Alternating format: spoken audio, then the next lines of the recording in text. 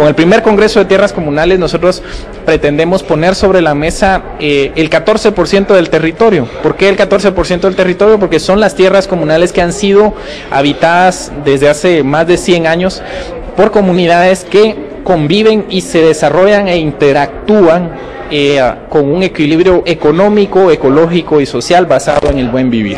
Ellos también pues tienen un conocimiento ancestral sumamente importante para los recursos naturales y pues han demostrado que obviamente eh, viven y conviven con los recursos naturales manteniendo un equilibrio donde tienen eh, fuentes de agua con bajos niveles de contaminación, mantienen masas boscosas y mantienen la integridad de los ecosistemas de la diversidad biológica, principalmente fauna y flora.